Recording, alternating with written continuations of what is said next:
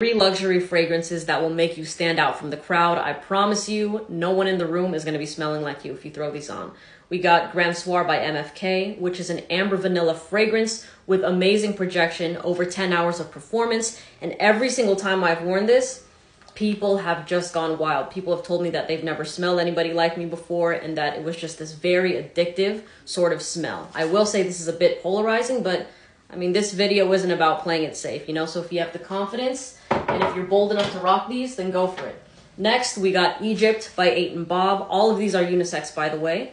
And this sort of smells like if Indiana Jones was a bad bitch. It has a very sexy desert sort of vibe that is very unique. And this has also caused many feral reactions before.